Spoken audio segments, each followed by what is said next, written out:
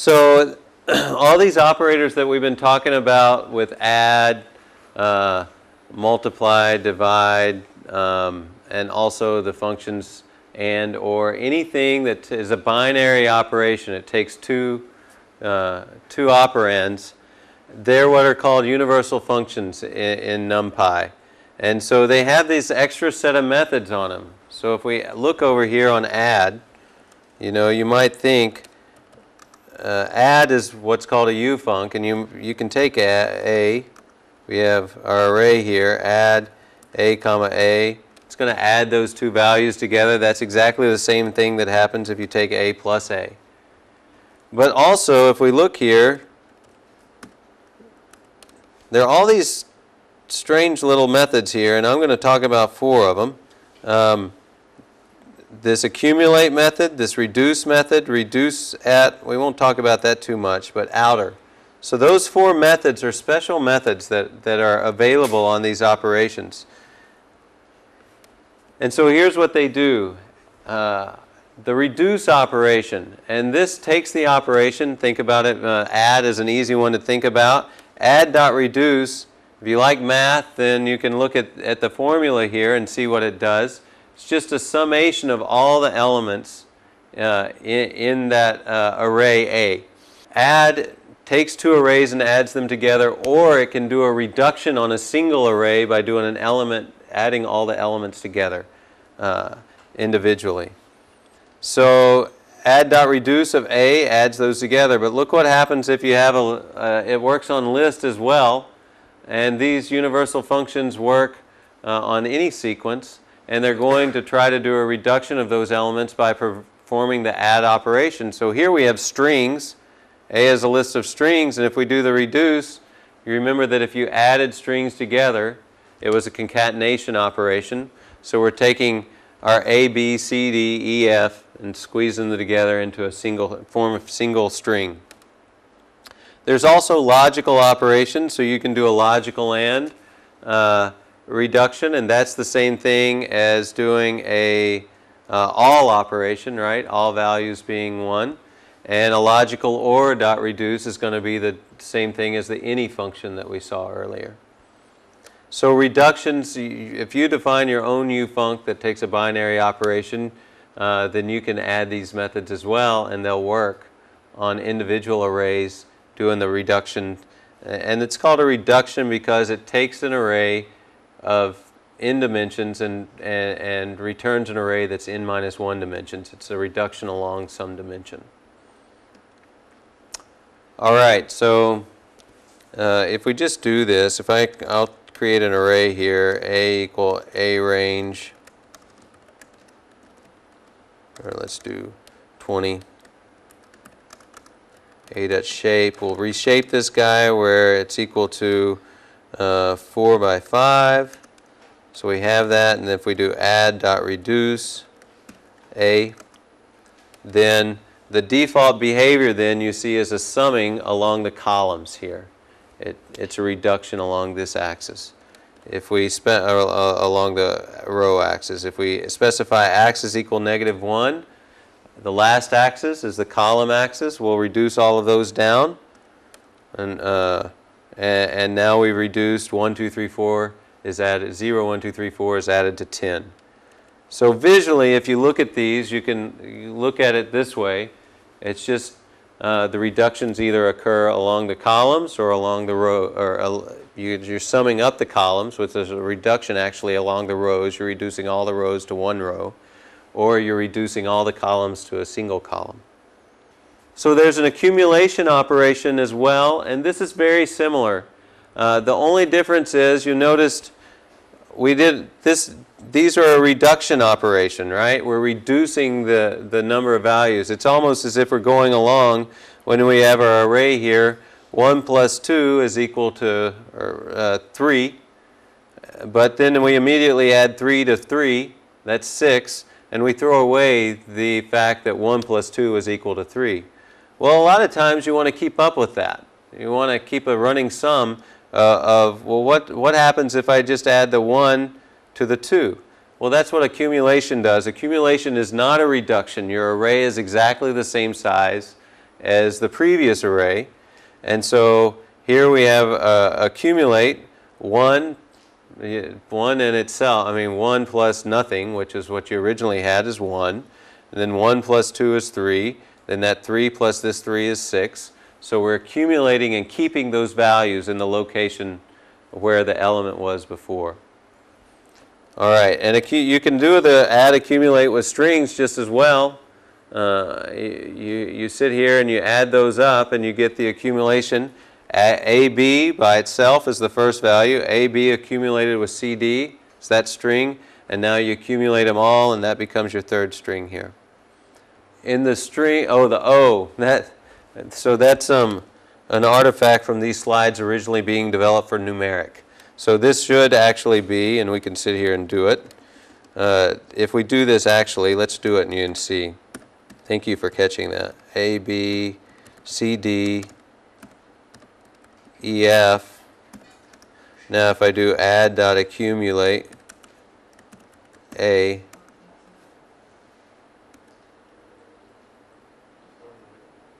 what's that? Oh, maybe I need to, I would have thought that worked, but we'll do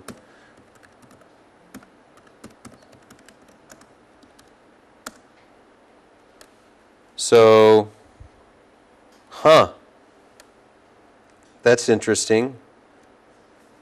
So it's changed, uh, it has changed since uh, from numpy, numeric to numpy. That actually looks like a, uh, a bug to me. So you can see what it's doing. It's actually accumulating from the other direction, right? It's, it's adding, instead of pre-adding, it's post-adding. So logical ops that work the same way. It's just doing a logical accumulation uh, uh, along the way uh, of ands or ors, as it may be. Uh, if you use op.outer, this is going to take the outer, uh, we usually think about outer products, right? But it's the outer operation.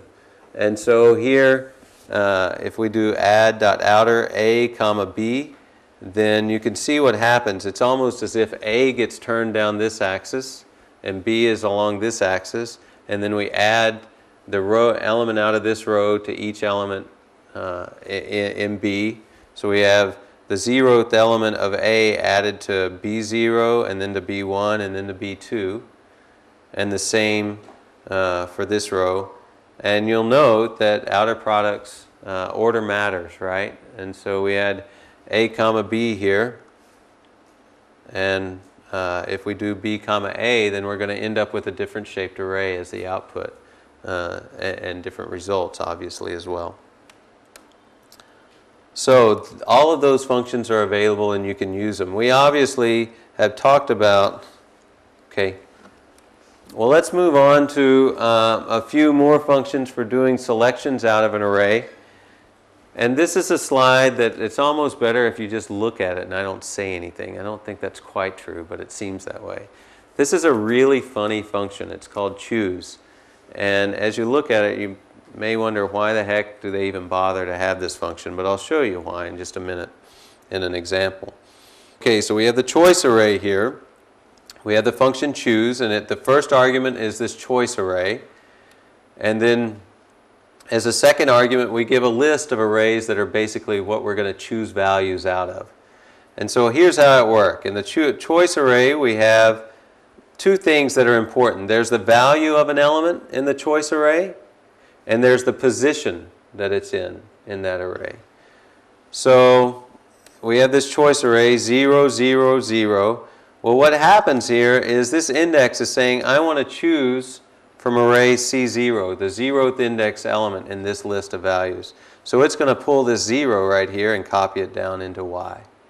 And now we come down and we say, well, we have another choice or choice. We want to, we again want to choose from C0, but notice when we copy a value down, we copy the value out of the same location as this array. And the same if we come along, and same for this one. So 0, 1, 2 go across the top row. And now the 1 is selected out of this C1 array. And again, it's going to pick whichever element. These are all the same elements, so or the same value. But it pulled that 5 and stuck it down here. 2 pulls from here. And then you can also just stick a scalar in if you want to. And so now position doesn't matter, right? It's just saying if you have a 3 over here, it's always going to choose 9 and copy it into your output array. So now we have uh, uh, 9s in this little section because of these 3s. Does that make sense? Now the question is, why do you care, right? I mean, why would you ever do this? And the answer is we talked about clip a few minutes ago, right? So how do you implement clip? Well, you can do it in C, but you can also just write a simple function in Python. So what would that function look like? Well, let's see how you might do this. We have our original array, has a set of values, and then I, this is equivalent of saying A less than 10, right? I'm just if I have A, what does my array look like? See, A equals A range 25, A dot shape. Oh, I didn't, that's good enough. Let's do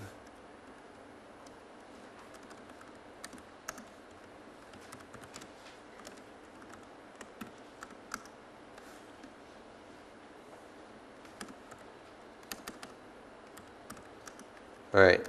So I have my array here, and I can either do less a and say 4, less a 4, and that's going to return all the values that are less than 4, or I can do a less than 4, which is probably a little prettier mathematically, but I've chosen to use the less here, and I've created an array that's basically this mask, right? We're using ones here instead of true false, but the same, same basic purpose. All right, so what would happen if I then come in and say, okay, I've created this mask. I want to use this array that I just created. I want to use this array that I just created as my choice array. And so these become indexes, right? 0 and 1 are my indexes into A and into 10, or into this array. So anywhere there's a 0 here, we're going to choose a value out of A. Anywhere where there's a 1, we're just going to choose 10. And if you look down here, look what happens. Anywhere where we were less than 10, the values are 10. Anywhere we're not less than 10, we just get our old values. Kind of a nice behavior. Well, if you want to expand this to actually handle clip, we got a clip at the lower end and at the upper end, right? So how do we do that? We have to, we're creating indices that we have, and so we have our less than array that we had. If we want greater than 15, we create another greater than array. And then we need to do a little math here because these greater thans are just going to be 1, 0 values. Well, we want, uh, what we can do is multiply those by 2. And this is going to create this array that you see here where we had the same ones that we had on the less than, but wherever there were greater thans, we now have 2 because we multiplied those times 2. And then we have zeros in the middle. Now you use that as your index, and now you have a comma 10 comma 15, you've clipped it at both the low end and at the high end. So this is starting, you start getting a feeling uh, of, uh, if you're not a MATLAB user, which some of you I know are, but if you're used to writing Fortran and C, um, there's a bit of a change. You're not thinking about for loops anymore, right? Everything starts happening in these vector operations. You have to think about things, how do I, how do I uh, create vectors that represent these things, uh, you know, the, the, the operations I want to do, and use special indexing or use these choice operators or use these uh, clipping tools, all of these different things uh, instead of thinking for loops. That's how we think in the C and the Fortran world. So when you go to the lab today, hint, hint, when you sit down to do exercises, starting with the for loop is probably not the answer. All of the examples, I want you to think about indexing. All right, so uh, where, I had mentioned earlier, we talked, about, there was a where function version 1 that I showed you. This is the version 2, and, and the slides here almost just for the purpose of uh, Um, documentation or whatever so you can look at it. There's no difference between how this where works really and the choice array before. It's just a simple version that only allows you to have a false and a true value here. So your condition, if you know, if you have zeros and ones, the first array that you pass in is the false, the second array is the true, and you're getting the same kind of behavior as the choice.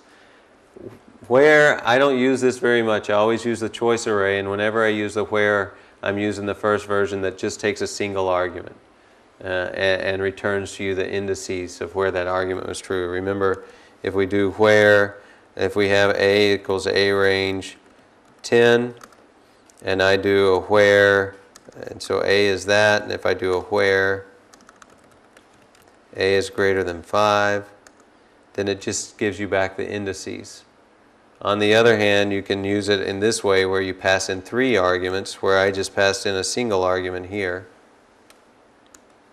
And you have this, uh, this functional behavior. We talked about concatenate. We showed a few other methods um, that are maybe simpler. Uh, concatenates there, and you can use it if you, if you uh, would like. Uh, x comma y, if you want to concatenate two arrays together, they have to be, it takes a list or a sequence of arrays as its argument. But when you concatenate x comma y, it def defaults to concatenating uh, along the zeroth axis. And so that's the row axis, and so it concatenates those together. If you want to concatenate along the first axis or the column axis in two dimensions, then you just specify as the second argument axis equal 1. Now, if you want to stack these things in a third dimension, then the way that you do that is just using the standard array uh, function conversion. And if you just put those elements in a, uh, in a tuple or any kind of sequence, then the default behavior, I mean, the way that the nesting occurs is to concatenate those along another dimension. So all of those work. All right, so broadcasting. This is a really cool feature uh, in, in NumPy, and it takes a little bit of getting used to. Uh, and uh, once you learn it, it also takes a little restraint not to use it too much. So we'll point that out in a few minutes. But here's an example. We've already talked about what happens if I have two arrays that are the same shape. In this case, we have 4 by 3 plus a 4 by 3 and we're just adding the elements together. So this array, or this operation here is just a duplication of that one. There's no difference. Well, what happens though if you come along and you have a 4 by 3 and you add it through an array that just has a one-dimensional array that has three elements? Well, one of, the, one of the choices would be it fails. It won't allow you to do that. Python actually does something slightly different, and it's called a broadcast operation. And so what it does is it says, ah, I notice that the last two dimensions of these arrays match. They're both 3. So then I'll take the elements here and add each of the elements here into the elements on this row as well as this row, uh, as well as this row. So it's as if it stretched these values down this array or down this dimension and then it just added those to each of the rows. And so this happens to be equivalent to this up here. But you haven't had to duplicate uh, all of these values, right, uh, on this one. Well, what if you come along and instead of having a 4 by 3, you have a 4 by 1 matrix and you add that to this 3 uh, element array? Well, the last dimensions don't match, do they? So uh, it doesn't quite follow this rule, but there's a second rule in broadcasting and that is if either of the uh, dimensions are 1, then, that, uh, then the broadcast matches, and what it does is it stretches that one to be the same size as this one. So what happens here is you have two stretching operations where you've duplicated these values across, and you've duplicated these values down, and then you add them together, and you end up with this array. And so you'll notice, what operation is this? If we had the add dot outer, it's the same thing. If you don't want to put add dot outer in the middle of your equation, you can have arrays that are like this uh, and use broadcasting and your math still looks kind of pretty and clean as you're writing out your equations. Uh, and you haven't also, this is kind of painful if you have to create, you know, in the end you just want this array, right? This is 2D. It might be big. It might be a zillion by a zillion in, in rows and columns.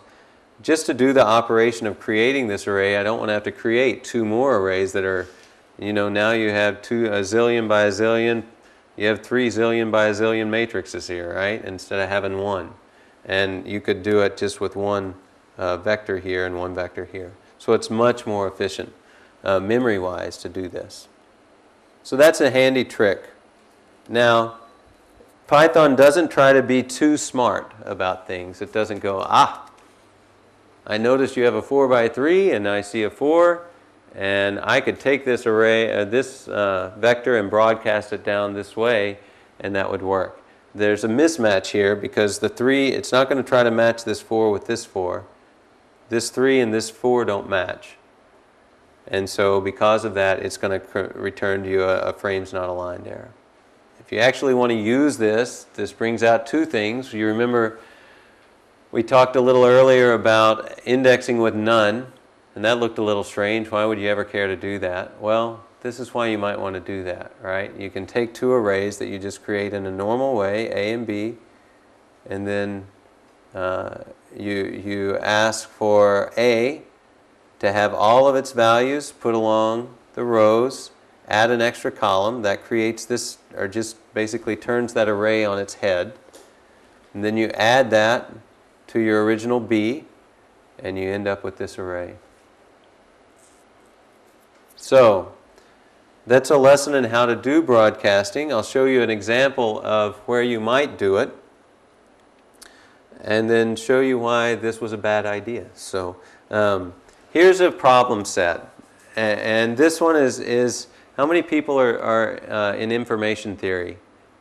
Do, so there are a few people. Okay, so uh, vector quantization is one of the typical algorithms that you might do to try to do classification on objects or whatever else. You might imagine that you have a set of um, of any any attributes that you might imagine. Each of these elements here is a sample, and you have feature one and feature two, and they could be any feature. I mean, if you're looking at basketball players, those features might be their height and, and their arm span or something like that plotted against each other. And what you've learned is that people that are in this category, if they're in zero or three, way or people up here tend to be good, people down here tend to be bad. Uh, that doesn't quite work with the attributes that I gave there, but, but you, can, you can have a, uh, an idea uh, uh of, of wanting to be able to separate, if you have this large population, wanting to be able to separate them into two groups. Well, the notion of vector quantization, what you do is say, you know, people that are close to 0 and 3 are in one class, people that are close to 1, 2, and 4 are in another class. And so to be able to pull that off, what you have to be able to do is calculate the distance from each of these elements to all of those individual codes, or what we call them, and find out which one's the minimum distance. So let's look at this. If you imagine you take one of your your observations or your basketball players, one of your data points. If you want to know which, uh, which code does this item belong to, you have to calculate its distance to all of the codes that you've defined. And then this one's the minimum distance, so this one falls in the category of 1. And then basically you have categories 1, 2, and 4 are good, 0 and 3 are bad, or 1 is one target, 1 is another target any of these kind of ideas. Does that make sense to people? All right, so how would you do this? Well, say you have a new data set. You know, you've trained this. You kind of created this data set based on a training data set, or created your codes, positioned them based on a training data set. Now you get a whole lot, you, you know, you go to, you have a no, uh, maybe basketball is the wrong example here, right? I should be using cricket, I guess. So you have a whole new set of cricket players come in. You want to find out who's good and who's bad. And so now you just need to classify them based on these features. Well, how do you do it? Well, you have two things. You have all these observations in here, these gray dots, and you have your codes. And you can, if you organize these, you might organize them in this way. You have your set of observations. Here, I've done three dimensions instead of two. You know, this is x and y. But you can do this in the n dimensions. It doesn't matter how many dimensions you have. So here we have x, y, and z. So each of these is an observation. or each of these is, is a measurement that you've made uh, on a specific observation. So observation 0 has this x value, this y value, and this z value. And you have that duplicated over and over again. So you have a thousand new players. In this case, we have 10 new players. Uh, and then you have your codes that you trained originally to determine uh, which, uh, uh which class somebody was in, C0, 1, 2, 3, or 4. So how do you do the math of this? Well, the first thing we need to do is take a difference, right? So what we can do is take these column or these arrays. There are two arrays here, and we can turn one this way and one this way. And now that's done with this indexing process of none uh, colon, and we've, we've, we've added one zero dimension uh, in the depth dimension. It has one, and then we've just turned the 10 and 3. Oh, excuse me, that's this. We've, we've added one dimension uh, and then put the 10 along the rows and the 3 along the columns here. Done the same with the other one. And now when we add them, we end up with this cube in the middle, or subtract them, excuse me. We add, end up with this cube. And each of these is the difference between the code elements. If you look here, this is going to be observation 0. This row right here is going to be the difference between observation 0 and code 0. This is observation 0 minus code 1 and code 2 all the way down.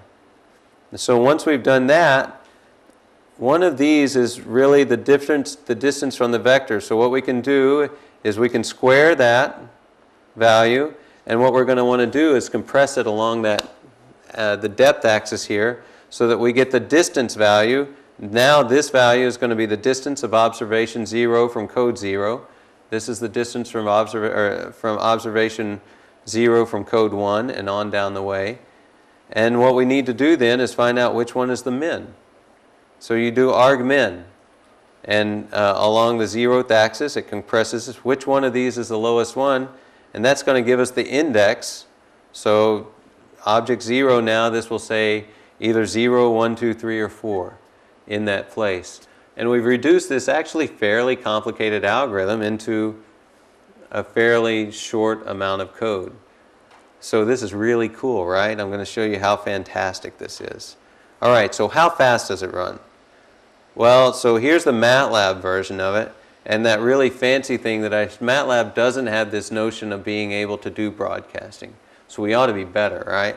Well, doesn't look so good here, right? We have a speed up of 0.71. Usually you want speed ups greater than 1. Speed up of 0.71 means you're slower. So that's not a good thing. So we just ran slower. If we go to floating point types, we do a little bit better. You know, float, float 32s are a little more efficient than float 64. We're still not much of a speed up. So why? What went wrong here? Here's the problem. If you look at this, I start with this data, right? And really what I want is this data. Well, in between here, what have I done? I've created this massive 3D array in, as an intermediate step. And I'm just going to throw that thing away. So the allocating this 3D array just is killing me. It's sucking up all the time.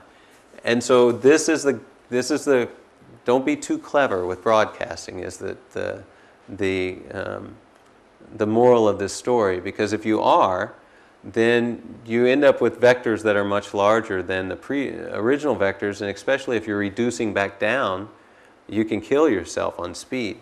And so I took a second approach to this. If you look at this, you can say, well, maybe I don't want to broadcast and create this 3D array. I'll just do the broadcasting on a code by, or an observation by observation basis.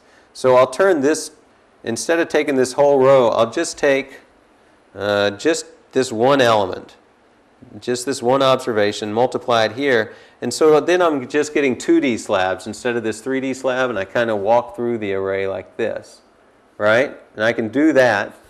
And that's, that's a good idea. That's, that solves some of our memory problem. And we almost get back up to the speed to the MATLAB version in here. Uh, and uh, it's uh, for floating point values, uh, it's still better, but we're, it's still not that great. And so this is kind of to whet your appetite for tomorrow. If you just go back and go, listen, I know how to write this little algorithm. It's only about 10 lines. I'm going to write this in C. How fast does it go? Well, it goes fairly fast. You get a factor of 25 speed up over the MATLAB version. So the nice thing is you can do it. You can write a quick algorithm in Python and get it working. And you can test all your code and do that sort of thing. And, and then when you need to, you can switch over and write your little algorithm in C that you need, link that in. These algorithms, by the way, are now, uh, if you look in the, um, I think there's a cluster uh, module in SciPy, and so we use, these are the vector quantization methods that are in that cluster uh, library. So if you're doing this in your information theory stuff, don't write your own, just use these. They're already blazingly fast. Pickling, you didn't talk about pickling yesterday at all. Okay, uh, quickly. So there's this notion in uh, programming or in, in many languages of serialization. And so if you have an object, A, and you need to store it out, the state that it's in onto disk or send it over a, uh, the network uh, through a TCP IP or whatever it is, then uh, you need to get some representation of that object state, right?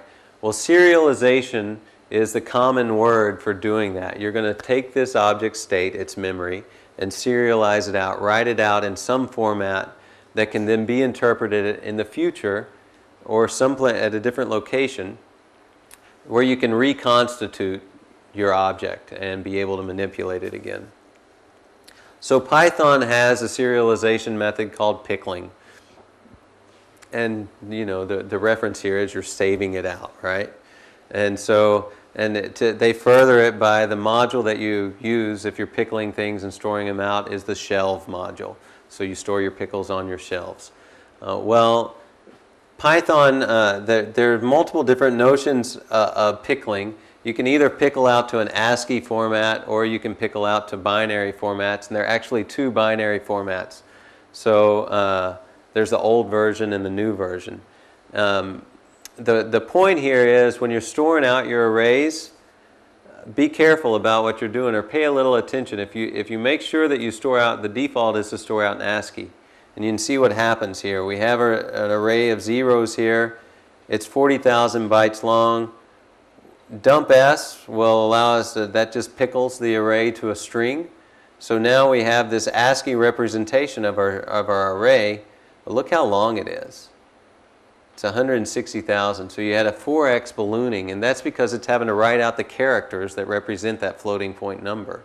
Instead of just storing the, the 4 bytes of the floating point number, or the, uh, uh, in, in, in, yeah, in this case, 4 bytes of the floating point number, it has to write out a lot of characters. You know, 8.4321E negative 16 or whatever it is, negative 10. So you, it explodes in size. On the other hand, if you pickle out in the binary format, you can see it's very compact. It's almost exactly the same size. It just has the little extra information we talked about, about having to store out the header information about how the array is organized. So be careful about that. So controlling the output format, you'll notice if I do on an array, if I do A is equal to array, and I make this 0, 1, 2, 1e to the negative 6. When I print that out, it prints out a whole lot of digits here, right, uh, on these things. And so what you can do is come in and there's a set print options flag that you can set up so that a lot of times it's pretty hard to read this. It takes up a lot of space and you can't really tell if that's a zero or not and, and that sort of thing. So if you want to control that, you can set the precision. This will show how many digits it's going to show uh, out of the floating point numbers. Uh, the other thing is that you can, you can set the threshold. If I have an array that's 100 elements long and I ask to print it, it prints it for me. If I come in though and I give it an, uh, an array, I think a thousand, it will, it prints all of those as well. But as soon as I put a thousand and one elements in my array, so there's a threshold that's been set. At some point, you can't watch all of that stuff streaming by and make any sense of it, right? And so you just want to see a representation of what my array is, especially if it's a gigabyte. And then you're just, you know, you've, you're waiting half the day for it to stream by. And that actually used to be a problem. It would actually, IPython would lock as it sat there and streamed all million elements by you. Um, so there's also the ability to suppress really small floating point values. So if we come in and A is equal to array, and we do 0, 2, 3, 1 e to the negative 15. So that's a pretty small value. If we do uh, set print options suppress equal true. Now it doesn't print out that teeny teeny value. It just says, ah, that must have been a zero. I'm not sure where the threshold flag is set, but it's, it's um, on floating point values, it's probably down at 10 to the negative 14 or so. I mean, on double precision. So that's kind of a handy feature. So you can tweak these however you want to get the output that you need. Uh, there's some examples right quick. I think we've walked through those. There's also um, error handling.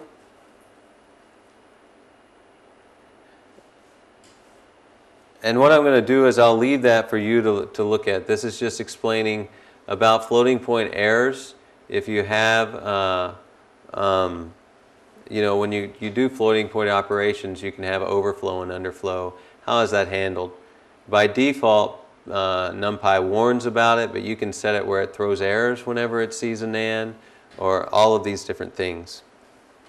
Uh, so what I, the reason I went through that quickly is I, I do want to talk about composite data structures, uh, if only in a very small uh, way here. So we've, we've said that arrays have a D type, and it's usually been float 32 or float 64 or something like that. Uh, but a lot of instruments, especially uh, things like the Hubble, uh, for example, when they stream data back, the data that comes back from an instrument isn't just an array of values. It may be an array that has the first four bytes are a floating point value, the next byte is an uh, unsigned integer value, and then the next uh, three bytes are a string. You know, it's a very complex data type that comes in in memory. Well, Python allows you to define data types or D types that actually describe a block of memory in a more interesting way. It doesn't, you don't have to say it's all floating point. And so what you do in a D type is you display, you describe how an element what is the packing of an element? And here in this case, what I've done is I've described a D-type where the first element I'm saying is a float, uh, a, uh, a four element or a four byte floating point number. And the second element is a four uh, byte floating point number, and both of them have uh, names. We're naming the first one mass and the second one velocity. So I can create a particle here equal to this array. And we created this, and I've specified the, the data type to be a particle type. So what happens here is these values are the masses, and these values are the velocities in the description of how this is put together. And you don't have to do this through Python, right? This can be reading a data structure in that's a C data structure, and this actually specifies how it, it will treat the individual bytes in this. So um, I'm going to all right, so we created our D-type. Cut and paste didn't work very well. And then I'll create a particle. And this is a nested array, a list of lists. And 1, 1. I'm going to make another particle here. 2, 1. And then a third one that's 2, 3. And then set my D-type to be particle type. Save that as A. Uh, array. We'll make that our particles.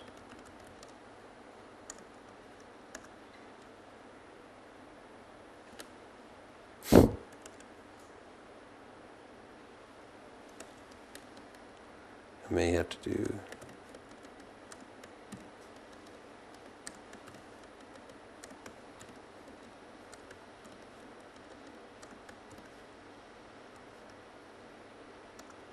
All right, not sure why it doesn't take lists, but it doesn't. So there's our array. And now I can index into this. If I ask for particle uh, 0, I grab the particle 0 and it gives me both of those elements back. But I can also do this, which is kind of cool. And that just gives me the masses of that array. So it treats those as if they're fields. This becomes really, really powerful when you start thinking about a database. This is nothing more than a database table. But you have it in memory, you have all these slice operations, you have all these reduction methods, you have all of these capabilities. So instead of having to do all your operations in SQL, uh, you can, uh, on, the, uh, on the server side, you can select out your data set that you want, put it in one of these tables, and then go to town doing all kinds of math and slicing and operations on it. Very, very handy, very, very fast. Uh, it's not used very much yet, actually, because it's brand new, but it's very slick. All right, so that does it for arrays.